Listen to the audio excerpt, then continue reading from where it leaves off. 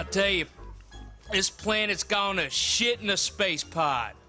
You know, my family came to this moon from Kennesaw Mountain, Georgia, to work at the GM phase shifter factory, and everything's fine until that goddamn black Jew, lesbian, tree hugging Martian President Billings went and signed that goddamn Bill of Robots' Rights.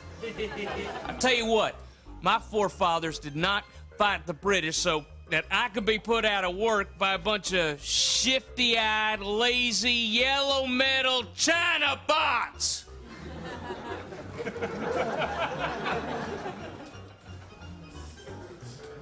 hey, look at them damn Plutorians.